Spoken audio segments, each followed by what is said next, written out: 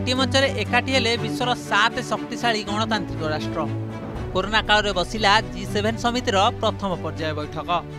ବୈଠକରେ ବିଶ୍ୱର ସାତ ପ୍ରମୁଖ ରାଷ୍ଟ୍ରର ରାଷ୍ଟ୍ରମୁଖ୍ୟଙ୍କ ସହ ଭିଡ଼ିଓ କନଫରେନ୍ସିଂ ମାଧ୍ୟମରେ ଯୋଗଦେଲେ ଭାରତର ପ୍ରଧାନମନ୍ତ୍ରୀ ନରେନ୍ଦ୍ର ମୋଦି ସମ୍ମିଳନୀକୁ ସମ୍ବୋଧିତ କରି ପ୍ରଧାନମନ୍ତ୍ରୀ ସ୍ୱାସ୍ଥ୍ୟ ଟିକା ଏବଂ ପୁନରୁଦ୍ଧାର ଉପରେ କରିଥିଲେ ଗୁରୁତ୍ୱାରୋପ ଜଳବାୟୁ ନେଇ ଭାରତର ପ୍ରତିବଦ୍ଧତାକୁ ଉପସ୍ଥାପନ କରିବା ସହ ପ୍ୟାରିସ୍ ଜଳବାୟୁ ସୁରକ୍ଷା ନିୟମକୁ ଭାରତ ପୂରଣ କରିଥିବା ପ୍ରଧାନମନ୍ତ୍ରୀ ଏହି ଅବସରରେ କହିଥିଲେ ଗଣତନ୍ତ୍ର ଓ ଆଦର୍ଶଗତ ସ୍ୱାଧୀନତା ପ୍ରତି ଭାରତ ସଦାସର୍ବଦା ପ୍ରତିବଦ୍ଧ ବୋଲି ମୋଦି ଅନ୍ୟ ରାଷ୍ଟ୍ରର ରାଷ୍ଟ୍ରମୁଖ୍ୟମାନଙ୍କୁ ପ୍ରତିଶ୍ରୁତି ଦେଇଥିଲେ ସେହିପରି କରୋନା ମହାମାରୀର ଦ୍ୱିତୀୟ ଲହର ସମୟରେ ଜି ସେଭେନ୍ ଓ ଅନ୍ୟ ରାଷ୍ଟ୍ରମାନଙ୍କ ଦ୍ୱାରା ଭାରତକୁ ମିଳିଥିବା ସମର୍ଥନ ପାଇଁ ବନ୍ଧୁ ରାଷ୍ଟ୍ରଙ୍କୁ ପ୍ରଧାନମନ୍ତ୍ରୀ ଜଣାଇଥିଲେ ଧନ୍ୟବାଦ यह बैठक में विश्वर विभिन्न मुद्दा को नहीं आलोचना कर बैठकर निष्कर्ष स्वरूप कोरोना महामारी मुकबिला निम्ते भैक्सीन ही प्रमुख अस्त्र जि सेवेन अंतर्भुक्त समस्त राष्ट्र एकमत होते प्रधानमंत्री जी ने हमारा